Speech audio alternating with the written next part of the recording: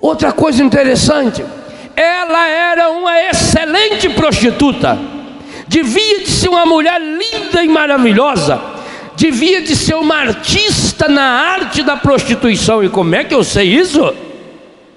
O que que ela tinha na mão?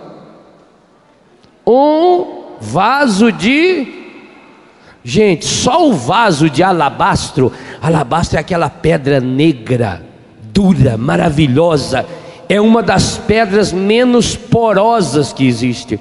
Se hoje você for a Israel, se hoje você for ao Egito, se você quiser comprar um vaso de alabastro desse tamanho aqui, você não compra por menos de 100 dólares. Olha o tamanho que eu estou dando. A Bíblia diz que o vaso dela cabia pelo menos um litro de perfume. Que tamanho que era esse vaso? Quanto custava esse vaso?